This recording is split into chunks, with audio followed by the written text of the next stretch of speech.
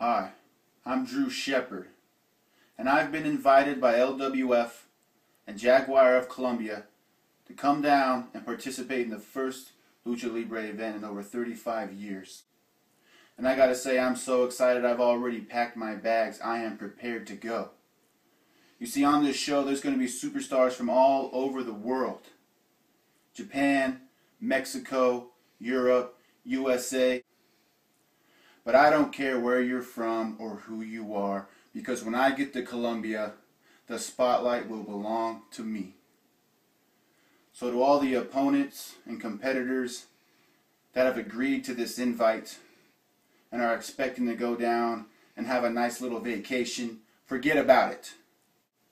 Because when you step in the ring with me, it's anything but relaxing.